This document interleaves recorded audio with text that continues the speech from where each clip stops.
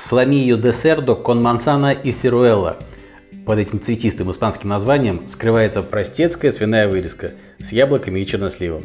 Всем привет! С вами я, Дмитрий Фреско. Вы смотрите кулинарную пропаганду.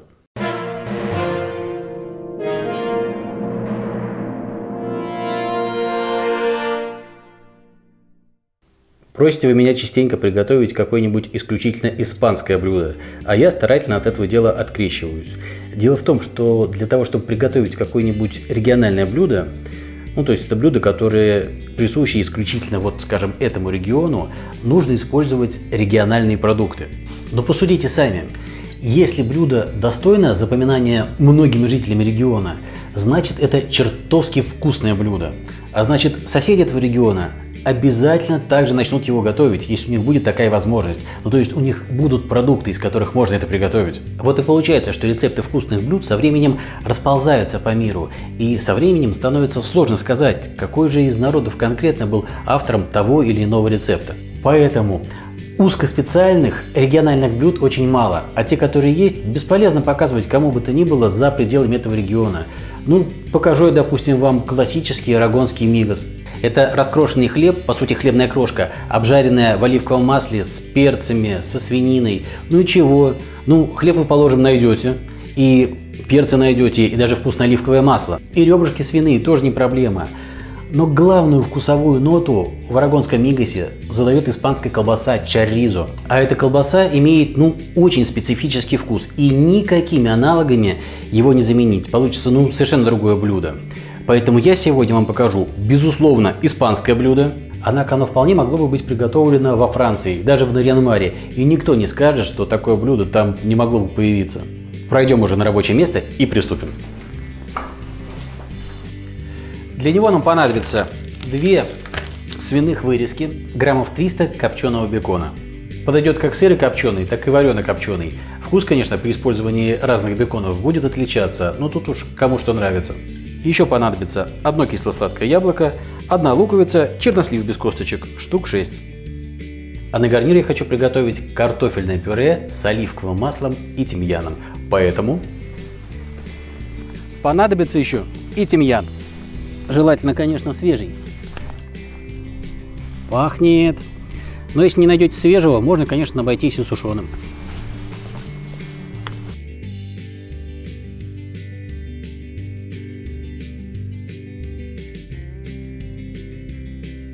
Если покупаете сразу большой пучок, то неиспользованную часть можно смело замораживать. Сначала надо озаботиться начинкой, поэтому нарежу лук помельче. Свинина вообще, а свиная вырезка в особенности, обладают слабо выраженным собственным вкусом, поэтому начинку я собираюсь сделать яркую. Лук надо обжарить до прозрачности на сливочном масле. Карамелизовать его смысла нет. Сладости будет достаточно и от яблок, и от чернослива, а обжаркой я сейчас удаляю острые, резкие запахи и вкусы. Как только от лука пойдет приятный сладковатый запах, значит готово. Новые зрители канала наверняка пропустили ролик, в котором я использовал этот девайс. И между тем, хоть сами выпуски и не ахти, но рецепты совершенно потрясающие, поэтому щелкайте обязательно и смотрите. И приготовьте эти классные десерты. И просто, и быстро, и вкусно. Лук уже почти готов. Нарежу яблоко помельче. Испанцы для этого рецепта рекомендуют использовать сорт Ренет. У этого яблока нежная мякоть и характерный винно-сладкий вкус. А вот сейчас он точно готов. Отправляю к нему яблоки. Яблоком томится всего минут 15. Сразу же сюда стакан кипятка и огонь выше среднего. Пусть кипит. А я тем временем нарежу чернослив. Особенно мельчить смысла нет. Он у меня крупный, так что каждую сливу на 4 части будет нормально. И его также отправлю на сковородку к яблокам. Пусть все вместе булькает. Кстати, пора уже и духовку включать. 190 градусов. Духовка греется, начинка булькает, подготовлю вырезку. Мне надо раскрыть каждый кусочек как книжку. Все элементарно. Разрезаю вдоль, почти до упора, и раскрываю. И то же самое со вторым куском. Начинка, как вы поняли, у меня будет сладкая, поэтому солю я мясо. Бекон у меня довольно соленый, поэтому снаружи соли на мясо пойдет поменьше, а вот изнутри побольше. И, конечно же, перец. По-испански соль – это саль, а перец – пимента. Так вот, они специальный термин придумали для посолить и поперчить. Звучит это у них как сальпиментарлос, что на русский обычно переводит как приправленный. По-хорошему, если вы предпочитаете хорошо просоленное мясо, то вот именно с этого этапа надо начинать готовить, чтобы за то время, пока начинка готовится, у вас и мясо просолилось. Но я от кисло-сладких вкусов не шарахаюсь. Для меня и начинка кисло-сладкая хороша, и соусы кисло-сладкие очень нравятся, поэтому я солю именно сейчас. Пока подготовлюсь к сборке, мне необходимо закутать мясо в бекон, поэтому выложу эти пластинки в форму для запекания вот такой вот елочкой. Как вы понимаете, вопрос выкладки – дело вашей фантазии и вашего вкуса. Хотите елочку, как я делаете, хотите плетенку – дело ваше. Вот сюда я и выложу один кусок. А яблоки меж тем уже готовы. Слегка разомну их. Тут тоже вкусовщина. Можно вообще начинку в пюре превратить, а можно изначально яблоки крупнее резать и оставить кусочки целенькими. Кстати, очень неплохо будет добавить сюда пару ложек орешков. Пинии – это средиземноморская сосна, или миндаля. Ну а вы вместо пинии, если есть желание, можете использовать кедровые. Отлично. А теперь всю начинку сюда. Только не спрашивайте меня, можно ли заменить кедровые грецкими или вообще грибами. Вы же для себя готовите. Вот и полагайтесь на свой вкус и свои предпочтения. Я вам показываю, как испанцы делают, а вы воспринимаете их блюдо как основу для своих импровизаций. Остается только аккуратно все закрыть беконом и можно отправлять в духовку. Обратите внимание, время приготовления этого блюда зависит не только от реальной температуры вашей духовки, но и от начальной температуры мяса. Вырезка будет готова тогда, когда достигнет 66 градусов.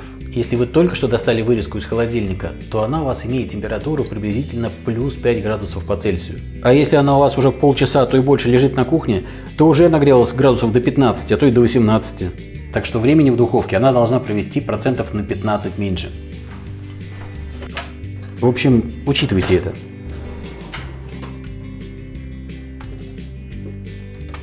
Или воспользуйтесь термометром, как я. Я чуть ли не в каждом ролике вас убеждаю, что нужно приобрести этот крайне полезный девайс. По опыту использования моей духовки готово все будет минут через 30-35, поэтому я пока почищу картошку.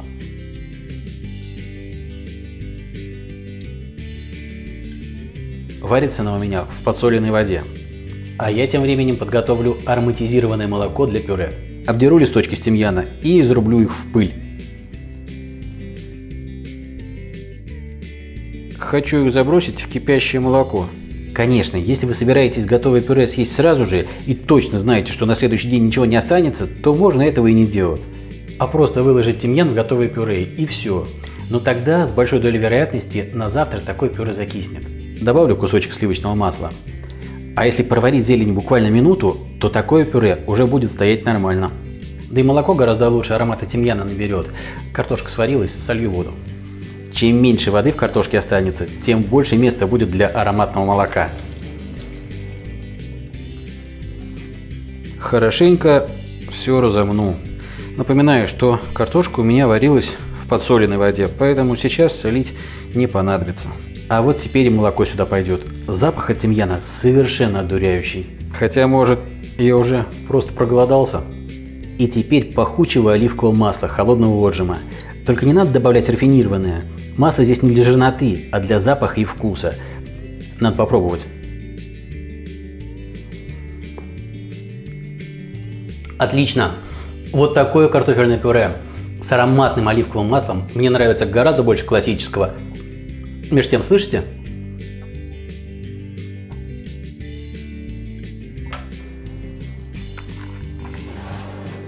Главное не уронить и не обжечься. Какая красота! Теперь надо переложить это на блюдо, и можно есть. Теоретически, конечно, можно было бы приготовить соус, собрать этот сок, добавить сливок, варить до густоты, выправить солью, перцем. Но, на мой взгляд, это совершенно неоправданное усложнение.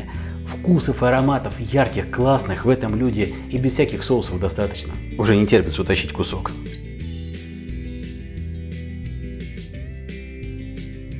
Снимаю пробу. Сначала, конечно же, мясо.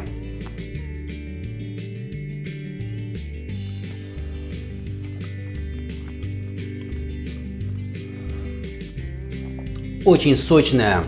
Тут и соль, и сладость начинки. Начинку надо тоже утащить.